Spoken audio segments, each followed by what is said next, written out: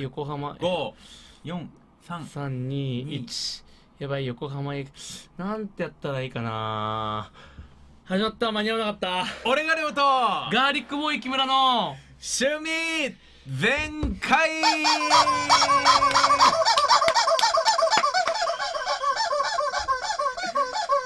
本番始まった瞬間もう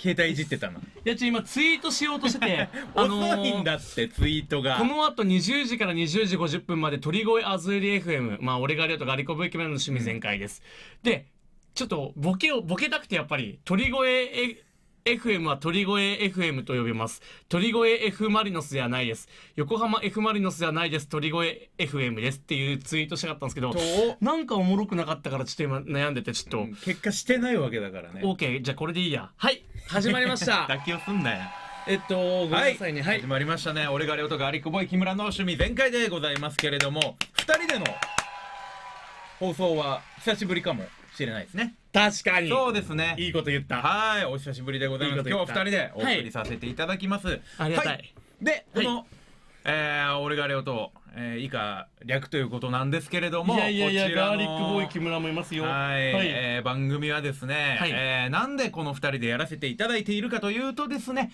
えー湯島にある会員制ゴルフバーのこれこれこれこここここここあここにあるこれこれですね。ごめんなさい。はい、湯島の会員制ゴルフバー、はい。湯島カントリークラブという、ん。えーところのですねオーナーさんの高橋さんという方が、えーまあオーナーというか出資というかスポンサーというか、えーありがたい。この枠を買っていただいて我々にやらせていただいているという状況でございまして。ありがとうございます。高橋さんいつも本当にありがとうございます。ありがとうございます。またこの遊びに行かせていただきます。今気持ちこもってた、こもってたでしょでめちゃめちゃ。気持ちがこもってる選手権やらない。ありがとうございます。スタッフさんに選んでもらおう。じゃあ俺から行くね。あうんあ。りがとうございます。状状況は何？本当に高橋さんへの本当に感謝。180%感謝します。はいはいじゃあ僕から行くね。ああ分かった、うん。高橋さんいつもありがとうございます。ありがとうありがとうありがとうございます。これレベル高いでしょ。いやひどいでしょ ひどいだろ今のは。じゃあレオ君嘘感が。レオくんじゃあやって。本当に高橋さんにめちゃくちゃ感謝してるでしょ。あの高橋さんがいなかったらこの今僕たちここにいませんですから、うん。はい。あの多分家でザ・セカンド見てます、そうね今日ね。はい。お笑い15年目以上のお笑いの大会がテレビであるんですけどあの、ね。ごめんなさいね、あの松本人志さんじゃなくて有田哲平さんがなんか今回なんちゃらアドバイザーで。ああそうなんだ。はい。じゃあありがとう選手権。ありがとうありがとう180%でお願いします。ガチでやればいいガチで。本当に感謝すればいい本当に。高橋さん本当にありがとうございます。ああいやこえれでしょドローもあるよこれ。これでしょドローになったらドローになったらこれもう一回もう逆によ大きくなんないって。本当の感謝の時は。どうだろうな。うん。ちょっと選んでもらいましょう。選んでもらいましょう。そうですねスタッフさんが3名あの3名様いらっしゃるんかな。30名いますので鳥越さん本当に大きなスタジオでやっても30名いますから。1234どっちかな？あ りこのこの方々。高橋さん湯し湯島ゴルフバー高橋さんありがとう選手権。まあ湯島の高橋さんの会員制のバーですかね。なんかなんかえー、行き行きたいけどなんか行けないなとか言ったら僕たちに言ってくれれば。まあ会員制だからね。はい、うん。あの会員ではないですけどちょっと怪しいけれど怪しいですけど、あの全然ご案内しますので。でもなんか選手権にしちゃってるから若干薄れたけど本当の感謝を伝えましたよ、そうですね。その中で。はい。あ決まりましたかね？あ決まりました。これドローでワンもう一回サドンデスもありますからね。名前が書いてます？あの勝者勝者どっちかって書いてる感じですか？おじゃあ発表しましょう。あはいお願いします。いきます。ドゥルルルルルンでん。ああーオッケー！レオさん2票木村さん1票ということで2対1で僕の感謝の勝利ということーいやです悔しい。いやでも本当に僕に一票あげあげてくれた人本当ありがとうありがとう。うん。ありがとう。いやだからそう いう使い方するから嘘っぽいんじゃないのありがとう。ありがとう。本当にありがとう。ありがとう。ありがとう。今日はえ何の話？喋ることない。あるある。めちゃくちゃある。それで伸ばそうめとしてないちゃくちゃ俺相撲あるしパリオリンピックあるしアルビレックス新潟あるし競馬もあるしで野球もあるしいっぱい喋りたいよ。こんなことしてる場合じゃないよ。お前が一旦ちょっと自己紹介してしっかり。自己紹介なレオ君がどんな生き物なのか、はい、えー、まず僕の方が俺がレオと申しまして、えっ、と吉本興業の芸人でございます。普段はまあなんでしょうね。僕の趣味を話す時間なんですけど僕はキャンプをはいずっとやっておりまして、はいそのお話をここでそのお話しか僕はむしろしないというスタイルでやらせていただいてます俺がレオです、えー自己紹介。えーどこ出身ですか？あ出身は北海道ですね。ああ北海道のどこら辺ですかね？北海道の、えー標津市っていう旭川の、えーちょっと北の方であーじゃあだいぶあのちょっと遠いっすね。ごめんなさいこれ失礼しますね。北海道のどこって言われてこれいつもやるんだけど。おお、えー、こうかな？あーこうか。北海道の。えー北海道大体こんな形してまして、うんうんうん。札幌この辺ですかな、はい。うん、で旭川ってこの辺なんだけど、はい。で、えー、標津この辺かな？うわえー結構この辺かな？遠いちょっと北の方っていうねはい。イメージでオホーツク海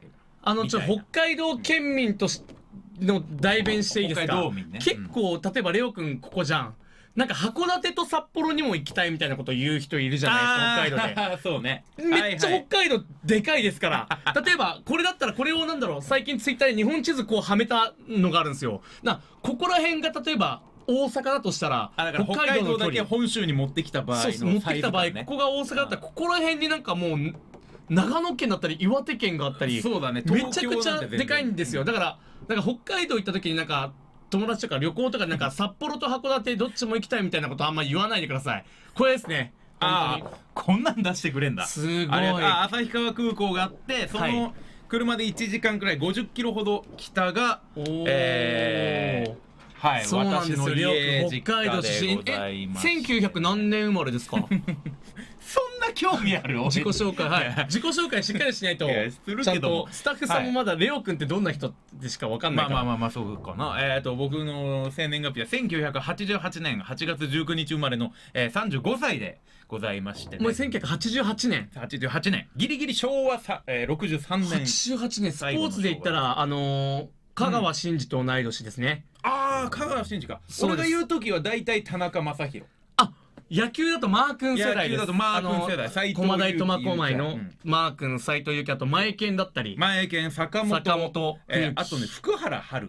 福原福原遥遥福原愛。風は愛あか。の卓球の福原遥ちゃんはもうちょいだいぶ下。福原愛選手は中国だと風は愛って呼ばれてます。風は愛。風は愛。ね、愛ちゃん1988年の確か同い年か。なえー。はい。そうなんです。結構ね豊作の年なんですね。すごいですね。え、何型ですか？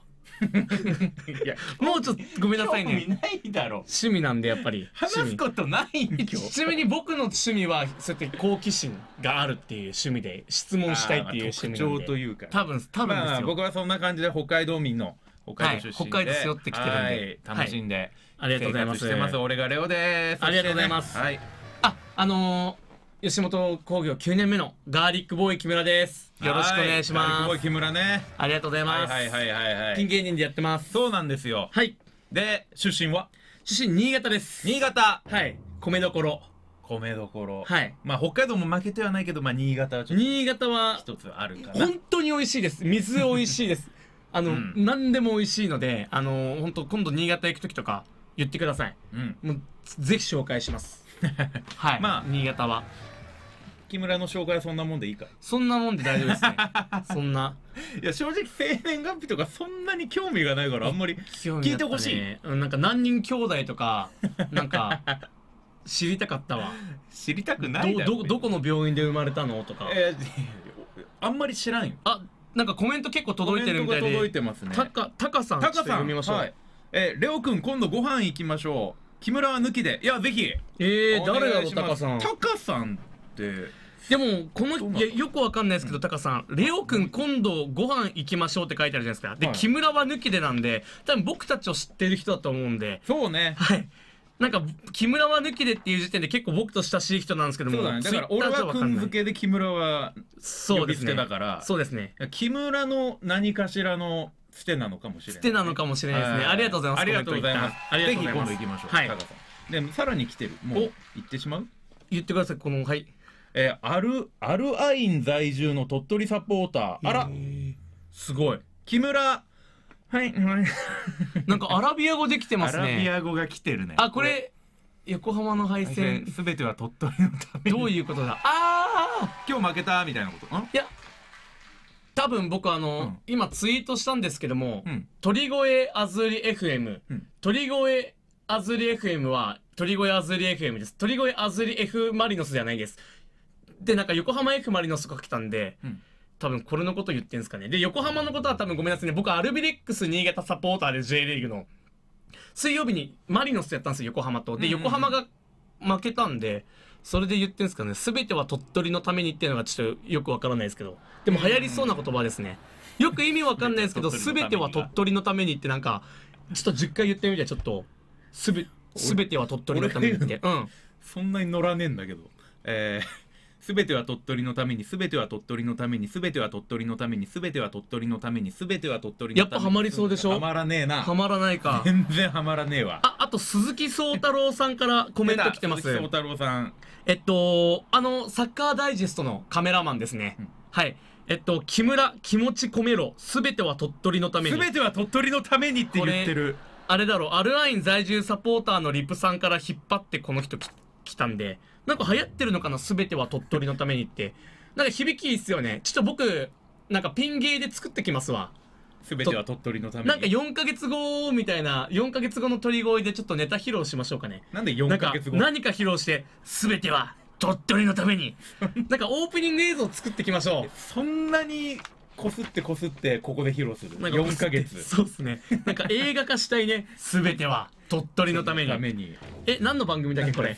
飛んで埼玉みたいなことかな 何の番組だっけこれ？趣味趣味全開で趣味行こう、趣味。何にも関係ないよもう8時12分じゃんいやちょっとねうん、生放送なのよ。収録じゃないのよ、そのう。カットされないのよ。全部カットだろうな収録だったらこれ、大丈夫ですかこれ？本当に。ちょっと木村さんさはい。聞いてほしいのよ私はあ、はい、聞きますよ。ちょっとね趣味全開の話をさせてほしいんですよあのー僕はキャンプをやっているんですがねなんとこの今日土曜か土曜日です。先週の土日この1個前の土日、はい。ある場所に行ってきましてねまあ、あのそれはごめんなさい、キャンプですもんね。キャンプなんですけれども有名な場所かな。どんなキャンプ？まあ場所というよりもどんなキャンプだったかっていうところなんだけどえなんとではい。ああなんか答えたいあ、ごめんなさいね。あ、いや、大喜らなくて大丈夫だ。大喜らなくて大丈夫ここはもうちょっと黙,、はい黙っていてほしいなんとですねあのまあ知ってる人は知っている知らない人は？誰も知らないボイラーはボイラー。三浦のボイラー。あのキャンプのキャンプをやられている有名な先輩芸人のチュートリアル得意さんのえ？キャンプイベントである得意ビデオキャンプというのにね、はい。なんと参加させてもらいました。ありがとうございます。何それ？ねえ。誘われてないんだけど。今こそ俺はあれを鳴らしたかった。あ、俺が鳴らしたかった今。これか。うん。こっちじゃねえわあこっちじゃなかった鳥の方だ。こっち。それ初めて見たよ今日。こっちをね鳴らしたかったんですよ。いやそうなの。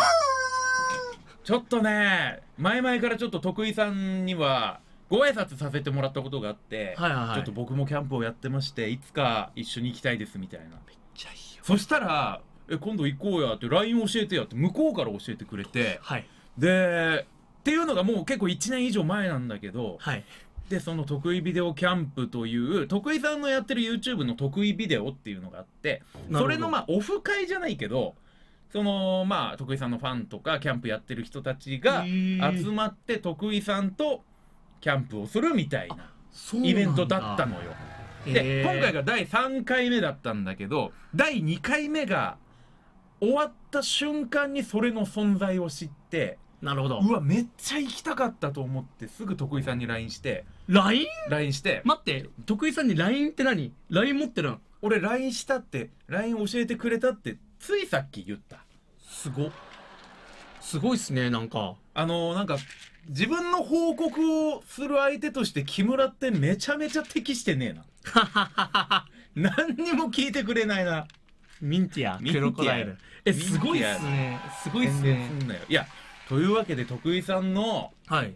得意ビデオキャンプにちょっと参加させてもらったからちょっとだけその映像を見ていただきたいなとあの YouTube もうん俺が YouTube やってるんだけど、はい。その撮影を全然好きにしてって言ってくれてだからそのイベント中も俺ほだいぶカメラ回させてもらった。何人ぐらい何人ぐらい参加したえっとねお客さんが200弱150から200人くらいかな。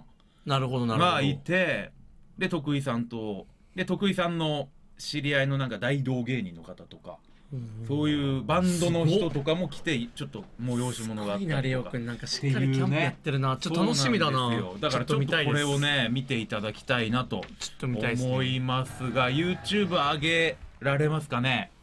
はいこれが僕の「俺がレオの俺のキャンプ」っていう YouTube なんですけどつい先日上げた。お疲れを、はい。俺がありょうくんだ。これですね。本はい。日はなんと、あので待って音量は出した方がいいのこれは。音量は出せますか？得意ビデオ出せない。ただいて大丈夫かな。出せ得意ビデオキャンプ出せるに出せる。向かっております。第これで3回目そうなんですよ。これもキャンプ場着いた。キャンプ場にこれから向かいますっていう朝5時くらいに24時間やってる群馬のスーパーに寄った時の。第2回目があったで向かってるところかな。これのはい。存在をあの概要欄からなんか徳井さんに合流みたいなのがあって2分何秒悔しくて。ですかね2分何秒で飛んで直々にあ1分徳井さん46にお願いかここまでじゃあもう飛んでいただいて。そうこれチュートリアルの徳井さんとあとスタッフの方々。徳井さんが泊まる用のあレオくんだ。そうなんですよ。今からここであの、はい立てていきまあ、まだこれ全然お客さんが来る前で徳井さんもキャンプでテントで泊まるから一緒にテントの設営とかを最高じゃさんせてもらって。なんかイベントの一員じゃなくてもなんかレオくんも主力みたいな感じだね。なんかだからまあ俺もキャンプやってることは知ってるからちょっと手伝ってくれやみたいな感じで、えーそうそうそうそうでここでさ一緒にまあサイト選ぶところからなんかでかで徳井さんの持っている愛用のキャンプギアを。なん。かもうね触るのもちょっと恐れ多いですよ私からしたら。すごい謙虚ですよね。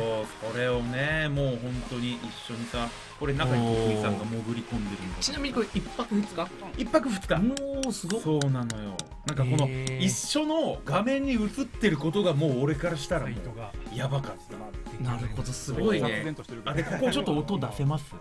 徳井さんがねギアをイベントに紹介してくれてんの。僕の友達たちも来るのでこのうちのサイトエリアが大体チリンチリン10がない。人ちょいぐらい違うあになるからで子供もいるから流れてちょっと今日はでっかいテント。流れていますかね流れて人で寝られる流れてるらし全然このサイズそう。あそっかそっか。流れてるけどこっちからは聞こえないんだはいはいはいなんかあはの結婚式の引き出てる方は物の聞こえてんだあるよ。なんかまあまあまあとにかくこうすごいねそう。いろんな山ちゃんやったかな。山ちゃんの結婚話を式のねカタログギフトみたいなんでこあっちが聞くこともすごい丁寧にいいですね教えてくれてこういうのもあるんですね。結構こうこうこうですね。なんかで子供たちのすごいうちのあの収納が楽ちんでさみたいな。あでビデオあなるほどね。はい。あはい俺のイヤホンが聞こえない。いや俺もね聞こえてないけど。もうこのいやでもすごい。定番の大定番すごい丁寧にもう結説明して局これやっぱいいのよね。いいですかいい安いしあ軽いし。ああこっち聞こえる悪かったですさっきえー。なるほど。なるほどワンアクションがいいのよ。このそうですねそうなのもう本当にこれがもうほんまにピアノの話もすごいこの椅子がこれキャンプで使ってる人まあおらんと思うよあんまり。ちょっと初めて見ました。これあのフランスのラフマっていうメーカーではいそう。あのリクライニングチェアが有名な。いやだからさこうフルフラットなる。めっリクライニングチはいはいはいェアチェアが有名なやつで。そのそのメーカーのやつ。くんのこんなもんためにこれもそしてキャンプ好きのすべてのキャンプ好きの方のために。ワンって畳めるやつや。こんなわざわざ時間を取ってさ自分音を聞いてないんだけど徳井さんの熱意をあーすんごい。もう楽ちん。めちゃめちゃ画面でもね。ハンモックみたいなそう。めっちゃ楽ちんなのこれも角度もいいですね。そう角度もめっちゃいいから。うわ。ほんまこれ気持ちいいねこれ。この景色からの。これでいやー。今徳井さんが座ってる椅子はレオうんうん。全部得意さあどうぞ。いいですか？でこれあんまり見たことなくて俺も初めてやって座らせてもらったんだけど。ギュムってなりますなんかねフランスの。これええやろへーなんかねあなんだ ちょっと。ね。ラフマの椅子はね行ってる。全部ここ動画上では行ってる。気持ちがよくキャンプギアではないと。これキャンプの椅子ではいや割とキャンプで使ってる人は珍しいと思う。あのお家の庭とかあーベランダで。そうそうとかで使ってる人が多分多いんちゃうかな。いやでもこれ寝そうだね。こうやねそうったらこうやっためちゃめちゃら全良かった。然前でもこれは座り心地が。そうやねなんかさもう俺なんてさララフマはい。ラフマ俺って芸人だけどうん。昔から目指してたとか全然なくて全く詳しくないのこれ楽でまあでかいね。チュートリアルさんが優勝した m 1の m 1の優勝した年から初めて m 1ちゃんと見た。なるほどねだからなんならお笑いって面白いって最初に思わせてくれたうん。人と言っても過言ではないんだよ憧れやん。そんな人となんか俺喋ってるし一緒にテント立ててるみたいな。これがもうさ本当にたまらなんくて。か一緒の趣味共有できてなんだろう俺で言うさなんかデーモン小暮閣下さんと一緒に相撲を見るみたいな感じでしょ。ああそういえばそうなんだっけ、うんデーモン小暮閣下さん。うん。そうなんですよ。まあちょっとなんか飛んでいただいてもいいですかね。なんかさうん。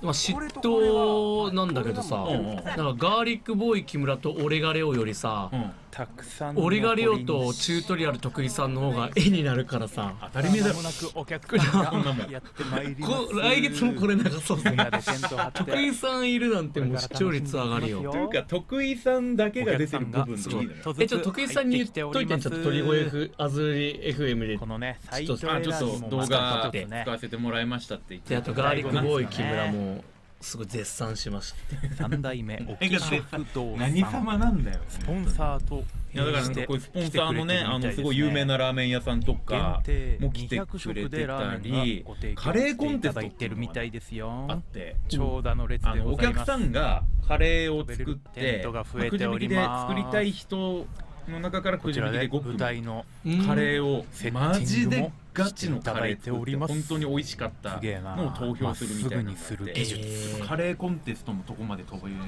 すさてさて。雲テント7分あでも車のナンバーこれレンタカー。21分か。うんレンタカー和から始まるでしょレンタカー。明日の話題でやってた。レンタカー2年間返さないでいるとどうなるかっていう明日の話題っていう YouTube で やってた。本当に。あもうちょうど昨日見たよね明日の話題。どうどうなるか知ってます？明日の話題っていう。俺明日の話題は本当に明日の話題で話せると思う。の じゃあ後の話題としてちょっと後で教えてもらっていい？明日の話題。普通に気になるわ。でですね、ごめんねキャンプあのーでなんかあの俳優の方とかバンドの方とかが来てて審査員として。めちゃめちゃねやったんですけど、一般の方よえーうん。2回とも一般のキャンプ好きの方が作るカレーとは思えないクオリテでィのが。今回、え多分この後見てたらそのカレーの映像が出るからあ飛ばさなくて大丈夫なの2回優で勝してるんで一応シードということでこれがね。参加してもらっておりますので左手でマイク持つんだ徳井さんそんなことないけど3回目の優勝するのかたまたまでしょうね。もしくはすごいなこれが本当にすごい。かちょっとねこのカレーコンテストの動画全部見てたら長いからそのパッと見カレーの見た目だけうんのところまで見られたらもうそれで十分なんだけど。えー、あのなんてところ群馬の？これ群馬のサンバードみなかみっていうほあのスキー場。みなかみ。うん。あスキー場じゃん。そう結構北の方。だからえこれって新潟だいぶ近かったよ。そうだよね。みなかみはみなかみはあのキャンプとかでも。みたいな。えこうやってさスキー場が夏使えるってこと？キャンプ場で。たまにあるね、えー。そういうキャンプ場がそうなんです芝生でね、えー全面芝生で気持ちよかったよ。すごいな。冬はスキー場夏はキャンプ場。そうなんですよ。初めて行ったんだけど。でその横ベースのこのねあの今回3回目の得意ビデオキャンプが。で過去に2回やってんだけどこのコンテストも。で過去2回、うん、チャンピオン同じ人。だ2連覇中の人がいて今回もエントリー。くじ引きなのに奇跡的にエントリーができて。すごいな。ごめんなさい。24分。もう間もなくあこっから。素晴らしい。徳井さんのさこのキャン飛んでしまったプでうん。一番良かったのって何？得意キャンプで一番良かったのは、ね、参加してよかったっていうか普通にキャンパーとして良かったのは何？まあ、まず知らないキャンプ場に行けたっていうのはいいよね。うん。そういう新しいあ2組目。一旦カレー一旦カレーの動画見てもらおうかな。ちょっとはい。これ2組目のこの人が本当にインドのあの2連覇中の人だったんだけど。えー。はい。これをキャンプ場で作ったんだよ。すごくない？スパイスからでカレールーとか全く使ってなかったらしい市販のは。ね。ちょっと長くなるからもうこのここまでにしとこうかね。えさっきちょっとえあれ全部作ったん？そう何も作ってるし。えー、え皿の色とかすごいね皿の色。すっごい銀色だね。めちゃくちゃまろやか。であれ作るのは相当手間かかるよ。ボケはもう拾わない、まあそんなわけでカレーコンテストはではい結果的に3連覇した。この人すごっ。っていうね。3連覇あって。うん。3連覇。まあそういうねまあこういうのとかあと最後花火が上がったりとかキャンプファイヤうわーを点最高火したり。この人数でキャンプファイヤーやりたいのそうそうそう。よなんか小学生の時さあのー修学旅行小学5年生の時さ修学旅行でやったのよ。なんかうんうん。巻行って。はいはいはい。あの新潟県の巻行ってねなんか「燃えろよ燃えろよ」みたいななんかわかんない。歌ね。うん。ちょっとなんだっけ「なん燃えろ歌ったことはないんだけど聞いたことがあるっていうだけ。キャンプファイヤー最高じゃん。キャンプファイヤーねいいよ。で徳井さんがこのなんかアーチェリーを買ってきてて、うん。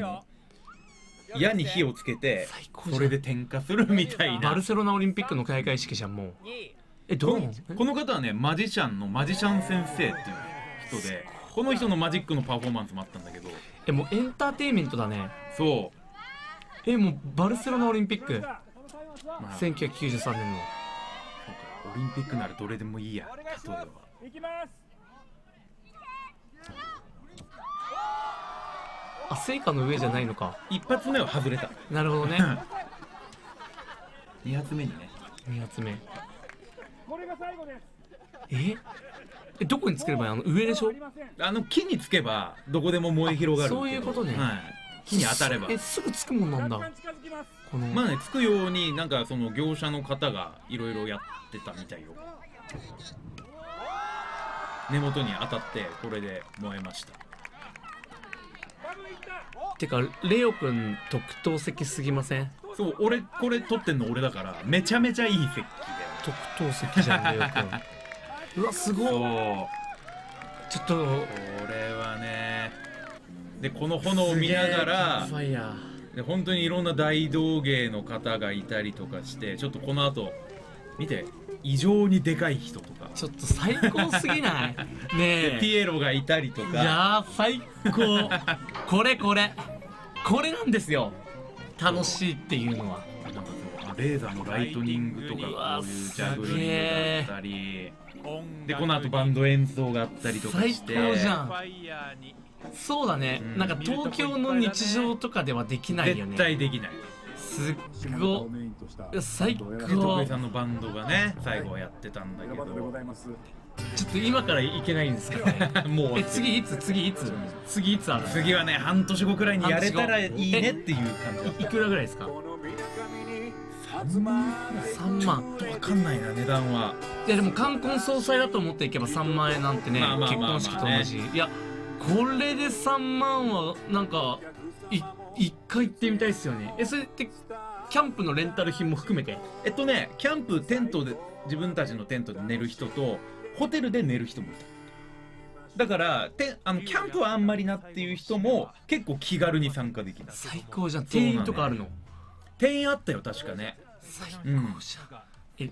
今回どう。だったか的なのをお聞きしてライブがもう。ハプニングだらけでボロボロになんかね俺撮れなかったんだけどその徳井さんのやってるバンドの時いろんなハプニングがあったらしい。はいレオくん最高じゃん いやでも本当にこのうん。得意ビデオキャンプでそういうバンドとかの演奏もありつつカレーコンテストとかもありつつそれがない時間帯とかは自分たちのテントに戻ってゆっくり酒を飲んだりとかこれはいい。キャンプ飯作って食べたりとかっていうその緩急がどういうめちゃめちゃ良かった。ファミリー層もいるん家族もいた。ちっちゃいお子様もいたしなんかカップルがいたり、うん。えーまあ50代60代くらいの夫婦最とか。高だね。そうそうそそういう人たちやっぱ喋る時あるじゃん、どういうの喋るの？キャンプについて喋るの？それともキャンプっていう環境があるからなんか本音で何かを喋るの？初対面の人で。うん。え俺との話？そう。レオあそれこ君がそあのお客さんが自分たちの財布と来てよって言ってくれてここでなんかちょっとごちそうになったりとかしたんだけど酒飲みながら。でレオ君はなんか徳井さんの右腕って多分思われてるでしょ？カメラで撮ってるしあの特等席で。まあまあまあ。しっかり後輩結構ビップ待遇だったんじゃないですか？いや俺は最高だったよ。さあ最高だよね。マジで。先週？先週ちょうど今日今頃バンドやってたぐらいだ。うわ最高だね。うん本当に良かった。最高、ねえ。こういうののために生きているって言っても過言ではないよね。マジで、ね、マジで。全然な毎週やってもいい。すげえ。俺がレオの俺のキャンプね。あのご視聴ありがとうございました。よかったらねチャンネル登録もぜひお願いいたしまします。す見てる方。えちょっと俺マジで家帰ってひちょっと一人で見よう。え そうあの寝落ちとか寝る寝てる時になんかね寝る前とかにキャンプの焚き火音とかは結構聞きながら寝たりするんだけどでで正直言って知らねえやつの知らないキャンプとか正直ごめんね言い方悪いけど あんまり思んないのよやっぱででもも知ってる人の方がいいか。りいやうん。あ今のやつは知ってる知らないじゃなくて本当エンターテインメントに溢れてた。ああなるほど。そうだね。それはもう得意ビデオのスタッフの方々の力。かやっぱエンターテインメントから趣味に入るっていうのもあるからね、まあねだからこれでキャンプ初めて来ましたって人も多分いたからそうだよね。それでめっちゃ好きになる可能性とかもあったし。そうそうそう。最高だね。いや本当にマジでよかったから俺は今日はもうこれを喋るって決めてきたよ。最高です本当に。だから本当にお、はいコメントがごめんなさい。そうだね。めっちゃ1234567件届いてます。はいちょっと読んでいく？じゃあちょっとレオ全部は読めいないからいきなりいやもういいきなりこうはい。はい。鳥取。鳥取さんからの連絡で。鳥取さんありがとうございます。鳥取の法人化。はい。もう一個来てます。鳥取でも緊張せず平常心で鳥取だからって力まないでえこれ僕たちへのコメントですか？どういうこと？鳥取でも緊張せず平常心で鳥取だからって力まないでって。あの送ってきてる人名前違うけどこれ全員同じアカそんなことないんじゃない？何個もアカウント持ってるでしょこれ。いや持ってないでしょ。だって結託して鳥取ばっかり送ってくるそうだね。全ては鳥取のためにって。はいあと鳥取さん。なんか犯されてんじゃないの？どこかから。何これ？鳥取さん。徳井さんは鳥取においでよ。インファイトとともに鳥取を盛り上げよ鳥取好きなんですね。う一応見てはいるんだな。一応もしかしたら見てはいるんだ。ワンチャン鳥取の人かもしれないしあと、うん。ななんだろう。やっぱり日本だってさそういう日本寄りだったりあるじゃん。うん。結構鳥取寄りだとしたらさなんか鳥取のいいことっていうかさあのね鳥取のキャンプ場い行きたいよね。だからそれは行きたいよ。行きたい。マジでこれ怒らせたらダメな人かもしれないからこれ。ちゃんちゃんと読まないと。鳥取の全権握ってるわけじゃねえおっだろかねえだろ。大丈夫だろそおっかねえだろ鳥取ってか。アカウントなんでこれ。確かに鳥取とアカウント名が鳥取だからね。おっかねえだろ。鳥取非公認だろ鳥取そのものからツイート来てるってこと？多分わかんないけどあの一応すみませんコメントありがとうございます、はい、で鈴木聡太郎さんまた来ました。ありがとうございます。高田の馬場で見ました。木村さんのファンです。いつも配信楽しく見させてもらってますあっという間に時間が過ぎてしまいます。1時間が1時間が70分に感じるくらい面白いです。ちょっと伸びてる。ちょっと伸びて今後も応援してます。高田の馬場で見かけた時声かけてもいいですか？ああまあ鈴木聡太郎さんであの高田の馬場で結構あのまあ会うというか結構お会いすることあるんではい、うん。あのサッカーダイジェストのカメラマンなのであの知り合い。ありがとうございます。本当に鈴木聡太郎さん。あの皆さんもなんか鈴木聡太郎っていう人のツイッターだったりインスタフォローの方お願いします。はいあ鈴木さんもね。はい。来た。あ出ました。ゴンエイト出まさんした。ゴンエイトさん。ありがとうございます。はい。この人あのお世話になっております。副社長さんです。あの毎月やってくれるんですけどあの AI を作ってる会社の副社長さんなんですよ。AI を作ってる会社の副社長。ちょっと僕もやっぱり例えば鳥越あずりさんで高橋さんとご縁があってこうやって開いてるじゃないですか、うんうん。やっぱちょっと僕もゴンエイトさんとちょっとなんかいろんな形で知り合って。はそうですね。あの木村くいろん形で知り合ってんの？そうっす。あの同一人物に？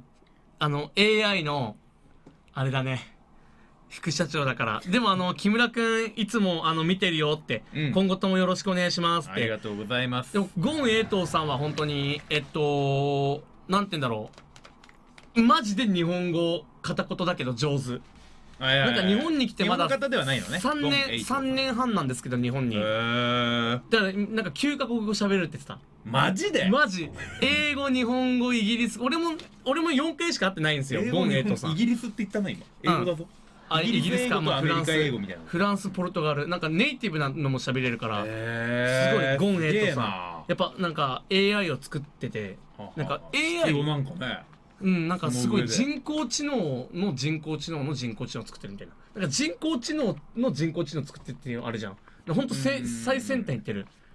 もう理全然。理工学いや俺もわかんねえよ。俺も直接ゴンエイトーさんと喋って、難しい。やっぱさ日本人って日本人っていうかわからない日本語が二言以上あったらもう話わかんなくなるじゃないですか。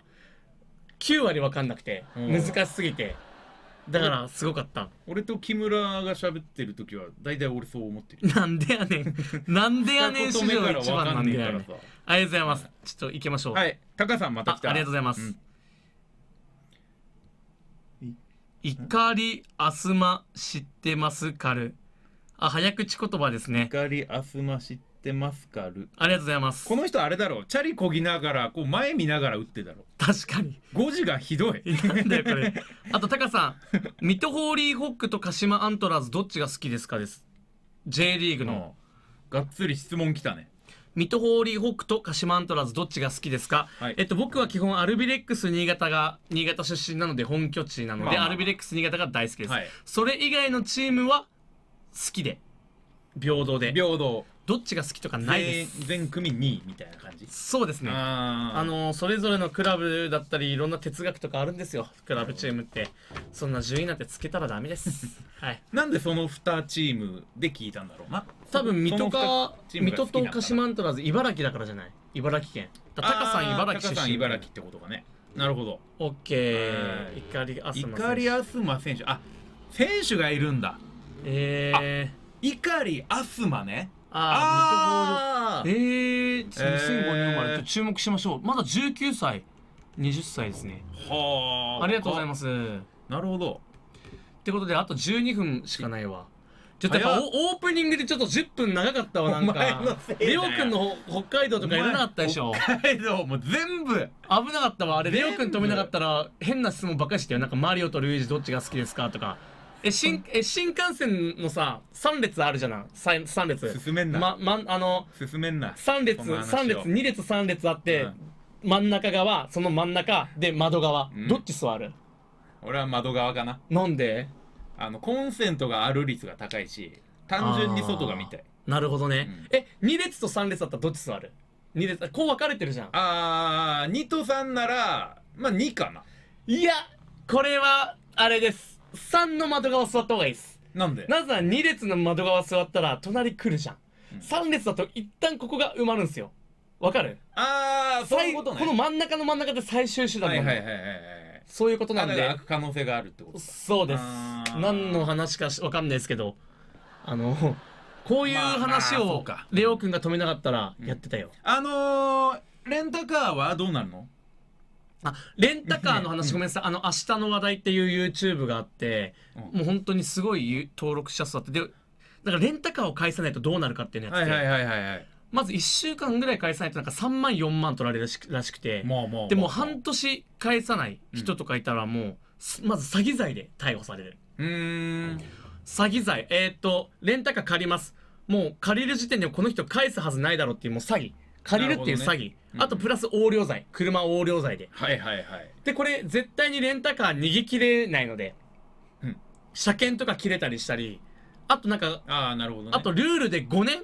なんか5年逃げ切ったら勝ちみたいなのあるあるんですよ。なんかでもレンタカー屋さんが裁判に訴えた時点でその5年の時効がなくなる。なんか時効が5年あってレンタカー返してないですってうん。言った時点で、そう。はいはいはい。5年間逃げ切れば大丈夫って思ってるけどすすぐ裁判所に訴えられてその時効が止まるから。うん。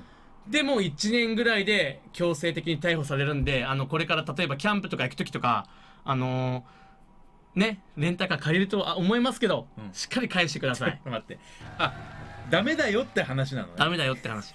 あと明日の話題見めちゃめちゃ普通じゃん。明日の話題見てください。だって当たり当たり前じゃねえか。待って今日なんかなんかその振り方だとしかも2年つってたから2年返さなかったら下手したら、うん。あの自分のものになります的な方が来んのかなっていやそんな甘い話思ったらないそんな社会甘くない。いやだよな。そのいやよかなんだろう。ったよむしろ。あの明日の話題のその主主人公の清っていう人がいるんですけど、あの清はマジこの1年ぐらいではいはい2000万ぐらい、うんうんうん。あのこのレンタカーこれであ俺すねなんか見たこと明あるかも日の話題、これ。はいはいはい。ちょうど昨日見てました。明日の話題マ2ジで。年返さずにい。たらどうなるか、とチャンネル登録者数133万人なんで明日の話題。本当に本当に明日の話題で明日の話題が喋れると思わなかった。マジで感動してる。ていうか2年間返さずにいたらなのに、うん。5年の時効とかちょっとよく分かんなかったんだけど。いやだから、うん。あの清が調べたら5年逃げ切ったら勝てるって思ってたんだけど、あー。実際は無理、無理だよってことね、うん。もうレンタカー屋さんが訴えるし裁判所に行った瞬間に、無理です。何年経っても無理ですな何百万も何千万。ばだよな。半年間で1100いくらって言ってたね1100万ぐら1い日1万だとしたら5年でしょ、うん。1500万くらいになるもんな。待ってごめんね、うん。俺も趣味の話したいのよ。あしたいの？うん、45分。今日俺レオくんのキャンプの話で10分俺の趣味の話で45分やる予定だった。いやそんなんねえじゃん。ごめんなさいそもそもが。ごめんね、うん。明日の話題気に明日の話題気になる方は明日の話題とかどうでもいいあの見てください本当に。大丈夫かな何俺？何が喋りたいの？ちょっと待って俺さ、毎回鳥越アズール FM さん見る前にし、うん。親戚とかに連絡するんだけど、お姉ちゃんにあの今日も早くいつもより早口になるから早口にならないでねとかなんかいろいろと指摘とかももらうんだけどらしいね。はい。今回結構多分指摘やばいと思う。指摘やばいかね。やばいと思う。お姉ちゃんまともな人でよかった。そう。あのレオくんが喋ったり動画の紹介してる時はあんまりボケないで黙って聞くとか。ううん。やっぱやっぱ視聴者はキャンプについて知りないのに知りたいのに動画の音と俺のボケの音でうるさいノイズが走るとかやっぱいろいろあるじゃないですかね。あるじゃないですかそういうの多分今日言われそう。こっちが言うセリフなの。俺もボケながら思ってた。うわ俺俺ムカつくやつだなって本当に反省ね、次回からお姉さんに来てもらうわ。そうですね。ガーリックボーイ木村姉と俺お姉さんがもし真ん中にいたら俺多分一言も喋んなくなる。お姉さんやっぱりあの怒らすと怖いんで。でもマジで俺の姉ちゃんはマジで面白いから。すっげえ面白い 面白いんだ。すっげえ面白いし常識あって礼儀あって。まともな上で面白いが最強だから、ね。まともで面白いのよ俺の姉ちゃん。まともじゃなくて面白いがまあギリギリ俺じゃん。そうまともで面白いから。面白いか分かんないけど。よし褒めたからこれで一旦ダメ出しプラ趣味の話するんじゃねえの？すいませんすいません。えっと僕の趣味の話どうぞ。おめえだよ。おめえなんだよ。来たこれワンピースカードです。ワンピースカードな。何回も言ってますね。前なんか言ってたね。はいはいはいワンピースカード、うん。えっと、まあ、2年前、うん。今1年と10ヶ月前からワンピースカードというものが始まりました。漫画のアニメワンピースうん。のワンピースカードです、はいはいはい。それが今回5月25日来週の土曜日第8弾が出ます。8段？これが熱いんです、うんうんうん。これが熱い。とちょっとね、入ってるけど花丸さんが。マジで熱いんですけどまずこのレイリー。レイリー。レイリーっていうあの白ひげとレイリーいますね、うん。あのこの人がレイリーです。この人が。うん。あの刀刀持ってるひげのおっさん。おっさんって言ったら失礼ですけど。これはゴールドロジャーのロジャー海賊団の副船長なんですけどはい。これの多分コミパラ。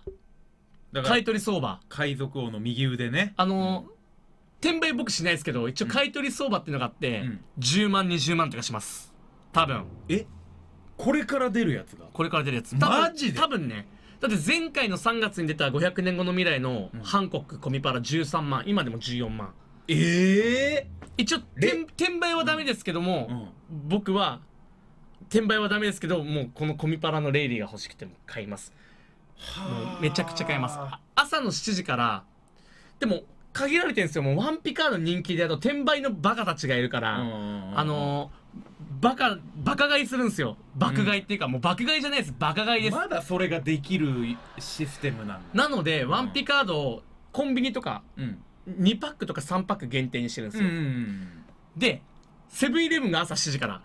ほでヨドバシとかが朝10時からなんでうドンキとかいろいろとあーなるほど。はいはいはい。ビッグカメラとか。で11時からファミリーマートとかローソンだから俺はもう朝6時55分からもうどこかしら行って。うーん。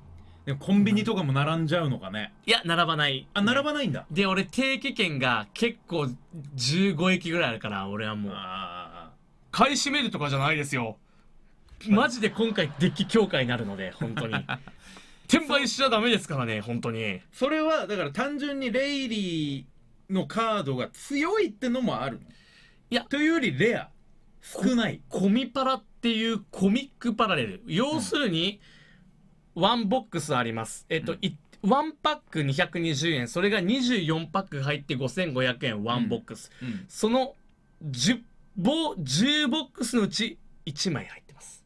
うーん。だから 224×10204 パック買って240パック買って1枚しか入ってない。そのぐらい希少価値の高いレイリー。じゃあ5500円で10パックっつった今。そうです。うんだ5万5千円で。だ5万5千円買えば14万円。はあ。分の価値が当たるかもしれません。僕はそれを買ってワンピカードを頑張ります。転売は良くないです。うん。で今回本当にデッキ強化されるし他のカードもあのー多分何千円かするので、うんうんうんうん買い取り相場だと。あのなんで買い取り相場を言ってるかというと転売目的とかじゃないですよこういう買い取り相場の価値を言って1万円あたり5000円も6000円もするんだって。ワンピースカードってそんなに希少価値高いの、じゃあやってみようっていうので促してるだけで。